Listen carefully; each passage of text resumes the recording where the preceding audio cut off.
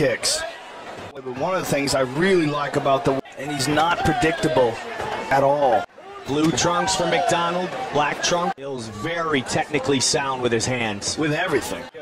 Of his fights against Mario Saranskis, big right hand by Mills. And that fight probably deserved a lot more than it got coming into tonight, but it's a magnificent battle we have. Rory got hurt there. Rory got hurt and he took him down. Yes, you're absolutely wrist. Yeah, there it is. Yeah.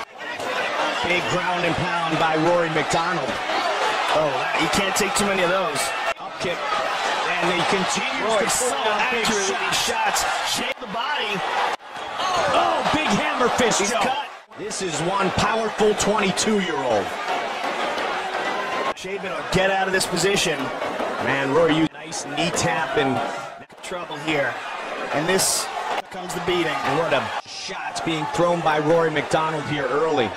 His left hand into the armpit. Full mount.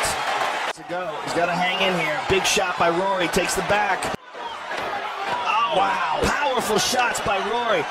The arm triangle. This is why Georges St. Pierre said this kid's going to be the next welterweight champion. He's part of the next generation of mixed martial artists. He may be the leader.